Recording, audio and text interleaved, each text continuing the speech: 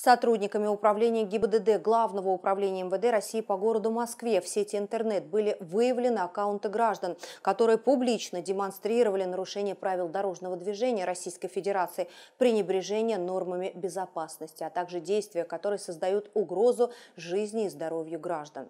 Данная информация была направлена полицейскими в прокуратуру.